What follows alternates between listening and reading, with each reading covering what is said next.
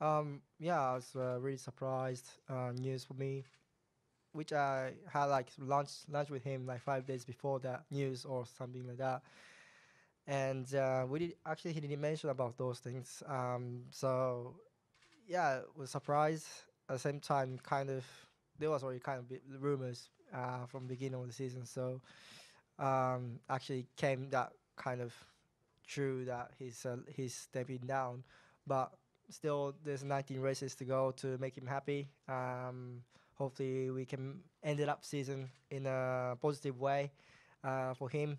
Uh, to do that, obviously, we need a lot of still development we need to do, but um, yeah, we have aggressive plan to do it, and uh, looking forward to it. And um, same time, he feeling all really kind of um, appreciate to the to him that he he trusts my speed uh, last three years, and um, he's he was always supportive next to me. So um, yeah, um, try to make it up for him uh, next next races. Yep.